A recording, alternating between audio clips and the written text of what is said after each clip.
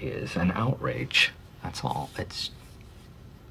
They are making a huge, huge mistake. Let's see Josh replace these people. Let's see Josh find another Stanley. You think Stanleys grow on trees? Well, they don't. There is no Stanley tree. You think the world is crawling with Phyllis's? Show me that farm.